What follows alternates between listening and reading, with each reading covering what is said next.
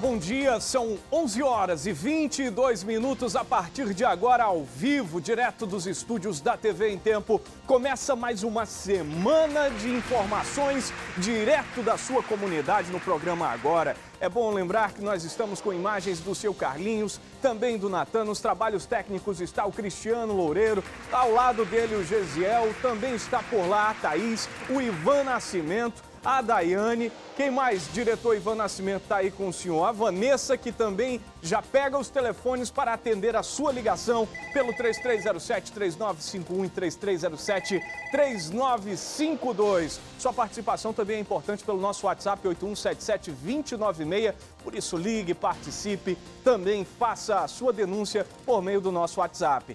Tem aí, Cristiano Loureiro, o Agora Impresso de hoje? Coloca na tela para a gente acompanhar. Tá aí o Agora Impresso de hoje trazendo para você as principais informações da capital, do interior, do Brasil e do mundo. Você acompanha, é claro, também no destaque de polícia, primeira manchete, lavador de carros é executado a tiros por dupla no Japiim. Ele reagiu a um assalto e acabou morto. É o destaque da página 7, página de polícia do Agora Impresso, sempre nas bancas desde cedo, que também traz a promoção Semanas Premiadas, 11 e 23 Solta os Semanas Premiadas agora, Cristiano Loureiro, para quem está em casa entender e, claro, participar com a gente. Aliás, é sempre bom lembrar que toda sexta-feira a gente traz aqui um dos ganhadores dos Semanas Premiadas. Então, para você entender melhor, solta o VT, Cristiano.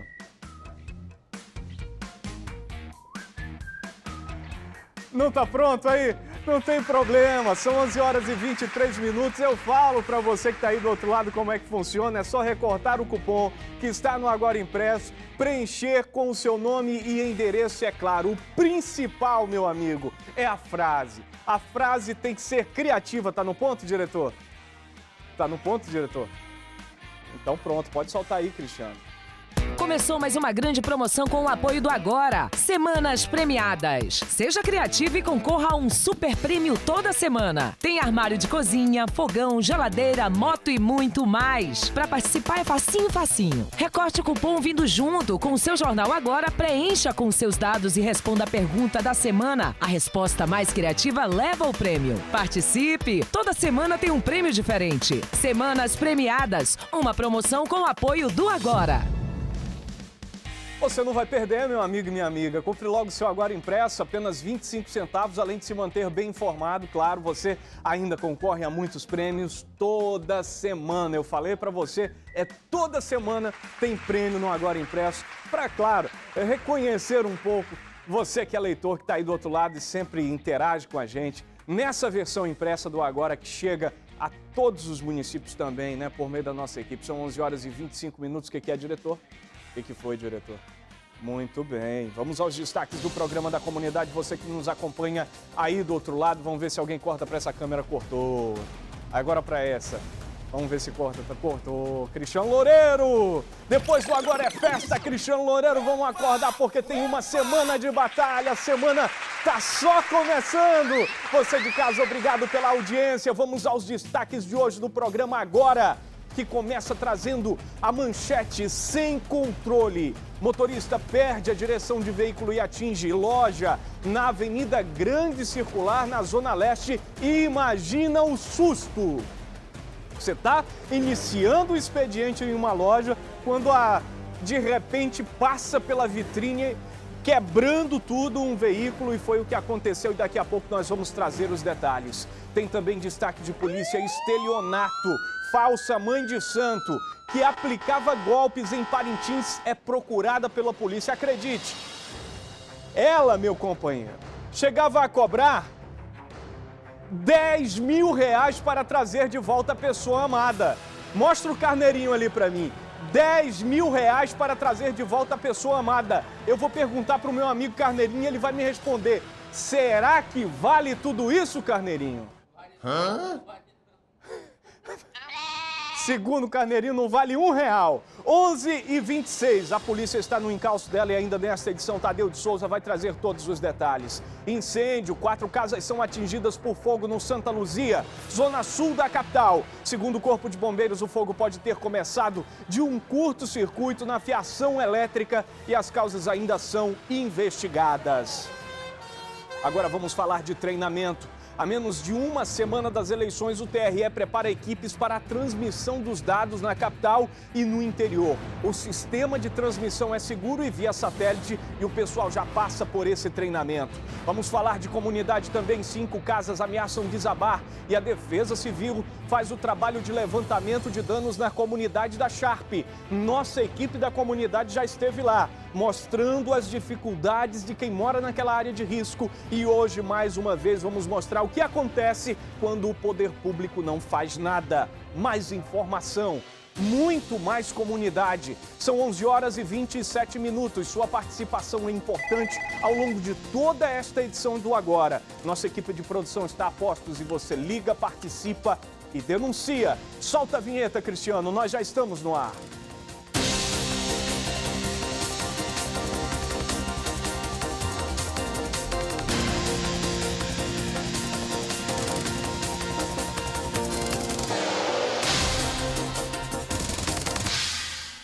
11 horas 32 minutinhos, já de volta ao vivo dos estúdios da TV em Tempo, agradecendo muito sua audiência. Você que está em casa, muito obrigado por nos receber diariamente, de 11h20 da manhã. A gente vai até 1 hora e 20, é claro, tem um intervalo de 50 minutos aí, daqui a pouquinho.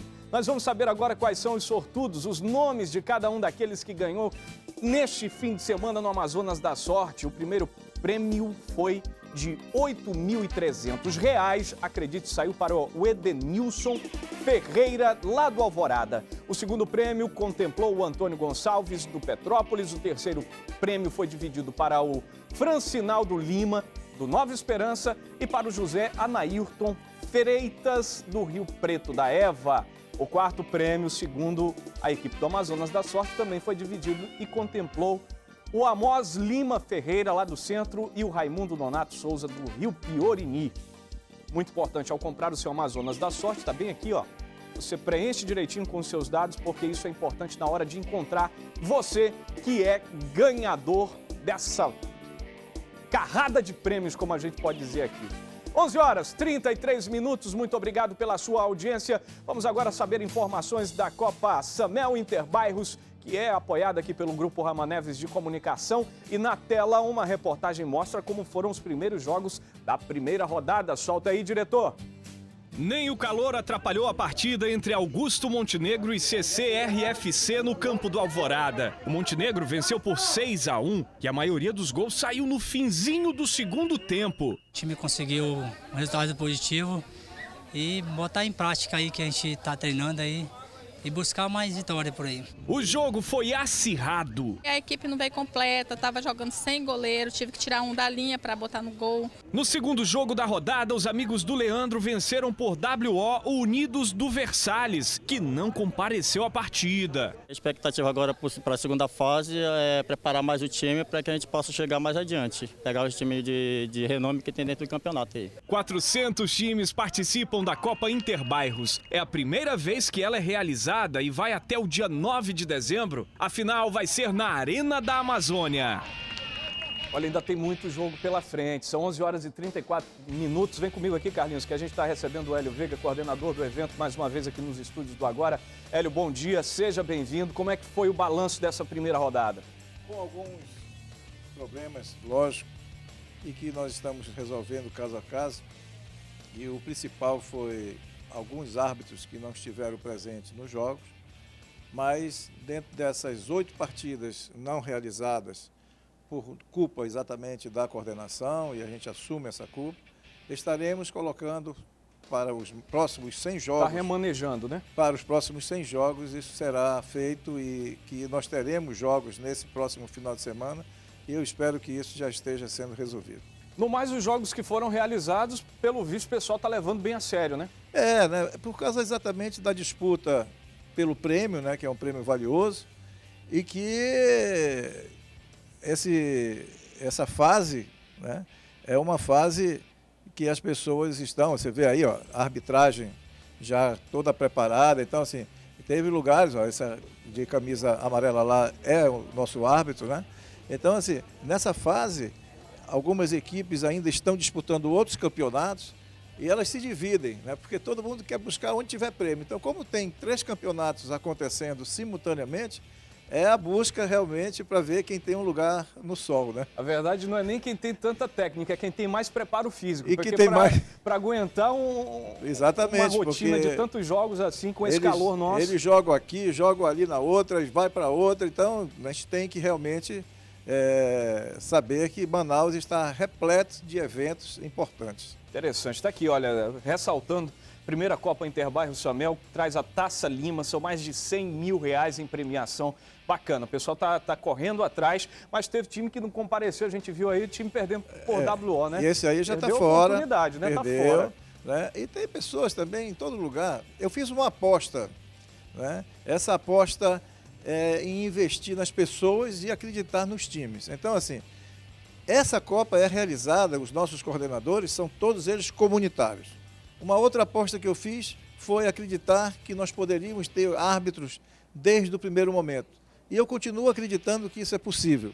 E os times que entraram para ganhar um campeonato, eh, para ganhar um equipamento e que não se apresentou, esse equipamento talvez seja muito beneficiado para eles e para nós isso não vai fazer falta.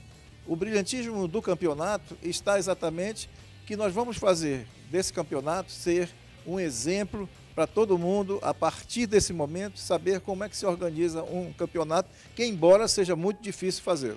Olha, eu vou fazer um desafio para os times e para os coordenadores de times que estão assistindo a gente neste exato momento. Tem o um número aqui, ó, 8177-2096, que é o nosso WhatsApp.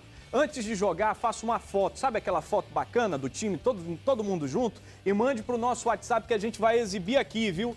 Depois da rodada, a gente vai exibir cada um dos times aqui. É só mandar a fotografia que a gente faz questão de, de exibir aqui, como fizemos agora nas imagens com Augusto Montenegro, que parece estar muito interessado em 100 mil reais. Não é bobo nem nada, né? Exatamente. E tem, é como ele falou, né? Eles estão se preparando para enfrentar os grandes times que prestigiaram o nosso evento. Então, tem aí uma espécie assim, de seleção das equipes, né? São mais de oito equipes favoritas e que estão empatando com esses pequenos. Então, assim, realmente não tem time bobo, né? E eles estão realmente procurando fazer o melhor possível. Eu quero agradecer a cobertura que vocês estão dando a essa Copa. Essa Copa, ela já é nossa, né? Tanto que vocês estão presentes em tudo que eu jogo e isso tem dado um interesse muito grande na comunidade. Você vai ver que na próxima semana vai chover de fotos aqui as pessoas Eu realmente acho que ainda acompanhando. hoje o pessoal já está, olha, já vale para essa rodada que teve, a gente mostrou aqui um jogo do Augusto Montenegro e do CCRFC. Pode mandar você que participou também dessa rodada, mande a foto do seu time que a gente ainda exibe hoje aqui no programa agora, não tem problema nenhum. São 11h38, Hélio. Obrigado é. pela participação. Eu quero só dizer que essas partidas que não foram realizadas por falta de arbitragem, todas elas serão remanejadas, feitas, remanejadas e, e você vai ser avisado. E ainda estamos entregando os uniformes, que realmente foram muitos uniformes que ficaram faltando a ser entregue, exatamente porque nós flexibilizamos, nós estamos flexibilizando desde o início desse campeonato e não é agora que nós vamos deixar de entregar. Então nós vamos entregar até sábado o restante e completaremos essa rodada. Eu Muito quero bom. agradecer a todo mundo que está acreditando nesse campeonato e que nós vamos fazer um grande evento até o 13 de, de dezembro para entregar essa premiação Pronto. maravilhosa. Beleza, Hélio. Obrigado, obrigado pela participação também. aqui no programa. Tenha uma ótima semana. Você de casa vem comigo. São 11 horas e 39 minutos. Me dá imagens do acidente na grande circular. O motorista perdeu o controle desse veículo, acabou atingindo uma loja hoje cedo e ainda nessa edição você vai saber por quê. São imagens fortes, imagens que trazem para a gente a, ideia de como ficaram as pessoas que estavam do lado de dentro. E já já a gente conta em detalhes para você que nos acompanha aí do outro lado. São 11 horas e 40 minutos, vamos falar de um incêndio que no sábado atingiu pelo menos quatro casas lá no Santa Luzia, zona sul da capital. As imagens são essas aqui, olha. De longe dava para ver a coluna de fumaça. O incêndio, segundo vizinhos, pode ter começado a partir de um curto circuito na rede elétrica.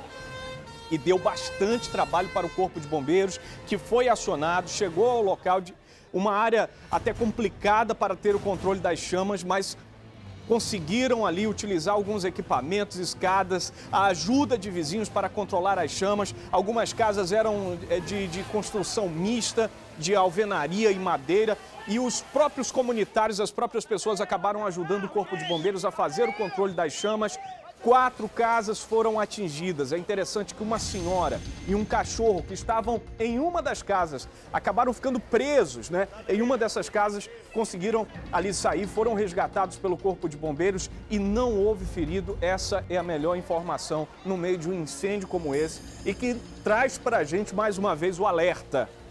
Estamos em um período quente, de muito calor, e aí as pessoas começam a utilizar o aparelho de ar-condicionado ou de ventilador além do que ele pode suprir e isso acaba causando um superaquecimento nesses circuitos elétricos, ainda mais se tiver algum tipo de ligação clandestina e o resultado na maior parte das vezes não é dos melhores, acaba causando um incêndio, desta vez sem vítimas, graças a Deus. São 11 horas, 41 minutos na tela do programa da comunidade. Vamos com informações direto do Baixo Amazonas. O Tadeu de Souza traz pra gente a informação de que neste fim de semana a polícia prendeu mais dois traficantes e está à procura de uma mulher uma falsa mãe de santo que é acusada de dar golpes lá em Parintins. Na tela do agora, Tadeu de Souza com os detalhes. Boa tarde, Amaral. A polícia prendeu na noite de ontem os elementos Kennedy Alves Ferreira, 18 anos, e Willary Monteiro Guimarães, 19 anos. Eles são acusados de praticar assaltos aqui na cidade de Parintins. Agora há pouco prestaram depoimento, foram ouvidos aqui pela delegada adjunta da terceira delegacia interativa de Parintins, Grace Jardim, que nos falou das ações, dos procedimentos que estão sendo adotados em relação a esses dois, a essas duas pessoas acusadas de vários assaltos. Eles assaltaram o uma jovem na noite de ontem, nas proximidades da Praça dos Bois, no centro de Parintins. Vamos ouvir a delegada. A polícia conseguiu recuperar uma moto e o celular da vítima. Ela registrou a ocorrência aqui no dia 24 e ontem conseguimos recuperar. Os, adolescentes não, eles já têm 18 e 19 anos. Eles já estão, estão aqui na delegacia, estão presos, vão ser mandados ao presídio. Verificamos a ficha deles e eles já respondem há muitos crimes como roubos e furtos, né? Furto qualificado e muitos roubos. Apesar da pouca idade, tem uma ficha extensa. Amaral, outro caso registrado aqui na terceira delegacia interativa de Parintins é relacionado a uma tal de irmã Soraya. Ela aplicou vários golpes aqui no município de Parintins. Pessoas que foram lesadas em 4 mil reais, 8 mil reais, 10 mil reais. Ela se apresentava como é, uma assistente espiritual das pessoas para ler cartas para fazer, enfim, esses tratamentos, entre aspas, espirituais e acabou fugindo de Parintins depois de aplicar uma série de golpes. Sobre esse assunto, nós conversamos agora com a delegada Grace Jardim. Muitas vítimas vieram aqui, inclusive deram muitos pertences de família, 8 mil reais, outras deram 4 mil reais. A questão é que ela sumiu da cidade sem dar nenhum, nenhuma explicação para as vítimas e o carro que ela tá, tinha alugado foi encontrado num porto, ou seja, tudo indica que ela fugiu da cidade. De Parintins, Tadeu de Souza para o programa Agora. Obrigado, Tadeu, pelas informações. É inacreditável. Tem gente que ainda, ainda cai nesse papo furado de consulta espiritual. Meu amigo, quem vai fazer uma consulta espiritual do bem, é lógico que não vai lhe cobrar. Já viu qual é o espírito que precisa de dinheiro? Eu fico aqui me perguntando, não existe isso. Conversa fiada e balela. E desse jeito, essa consultora espiritual, como disse o Tadeu de Souza, acabou enganando muita gente em Parintins fugiu da cidade levando muito dinheiro, dinheiro de gente honesta que passa por uma situação complicada, às vezes por uma situação psicológica fragilizada e que acaba nas mãos de pessoas, de estelionatários, como é o caso dessa tal de irmã Soraya, que de irmã não tem nada, é irmã do cão, mas não das pessoas que precisam de uma coisa boa para sua vida. São 11 horas e 45 minutos. Queria ver a polícia dar uma resposta e prender a tal de irmã Soraya que pegou aqui um, um tal de um pó de pilim plim plim, jogou no chão, subiu uma nuvem de fumaça e desapareceu de Parintins. Podia ter desaparecido, o problema é que desapareceu com dinheiro de muita gente, como é, Ricardinho? queria botar ela de frente com a Tatiana Sobreira pra Tatiana dar um pisão daquele, né? Aí eu queria ver ela correr. 11:45. H 45 Você de casa, obrigado pela audiência. Vem aí a Márcia Lasmar trazendo uma dica especial para você que é nosso telespectador e que sempre acompanha esses recados importantes. Pois é, Amaral, Varicel Comprimidos, o produto mais vendido para o tratamento das varizes e hemorroidas, agora apresenta Varicel Creme. Varicel Creme não é um simples creme para as pernas. Varicel Creme alivia as dores, sensação de peso e cansaço das pernas. Varicel Creme, quando comparado a outros cremes para varizes, é muito mais eficaz, porque Varicel Creme age profundamente na causa da dor. Já varicel comprimidos age de dentro para fora, combatendo os sintomas das varizes, melhorando a circulação e diminuindo o inchaço das pernas. Agora, com varicel comprimidos e varicel creme, você tem um tratamento completo contra as varizes. E não esqueça, varicel comprimidos também é indicado para o tratamento dos desconfortos provocados pelas hemorroidas. Você encontra varicel creme e varicel comprimidos em todas as farmácias do Brasil e a preços promocionais na rede de farmácias Angélica e Farmabem. Eu disse farmácias Angélica e Farmabem. Varicel tem a garantia de qualidade de Vicom Farma. Amaral. 11 horas 46 minutos, Ricardinho. Tem aquele, aquele efeito especial do mágico aí, diretor, fiquei curioso para ver se a gente consegue uma foto dessa tal de irmã Soraya. É brincadeira. Imagina os golpes que ela aplicou lá na Praça de Parintins. É muita gente enganada. Muita gente enganada. O que é, diretor? Fala aqui. Pois é, exatamente. O diretor está falando aqui que é, é, é tem tanto.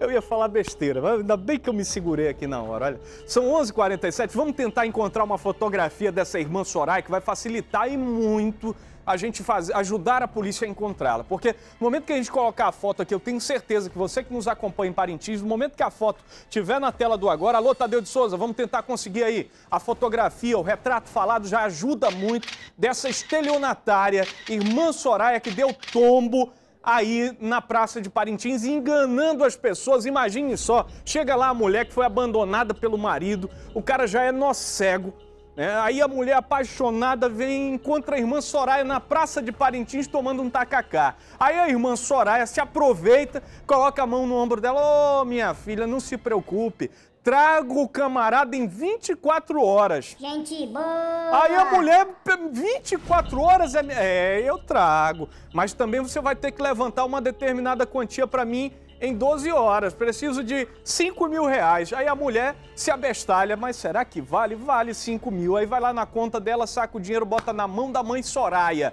a falsa mãe de santo. Aí ela pega e, exatamente, Ricardinho, ela faz uma mágica. Ela some com o dinheiro e ninguém encontra mais. Agora a polícia tem que dar uma resposta.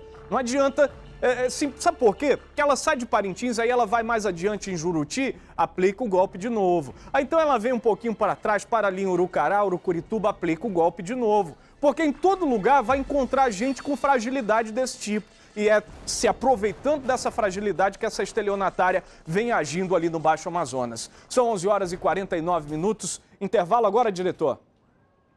Muito bem.